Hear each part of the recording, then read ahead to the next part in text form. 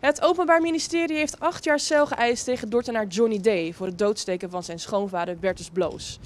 Een jaar geleden werd ook al acht jaar cel geëist, maar toen werd de zaak heropend omdat er meer onderzoek moest komen naar de invloed van ADHD-medicatie op het handelen van D. Dat aanvullende onderzoek heeft voor het OM in elk geval niet tot nieuwe inzichten geleid. De verdediging bepleit vrijspraak omdat D een blackout zou hebben gehad op het moment van de steekpartij. De rechtbank doet op 8 maart uitspraak.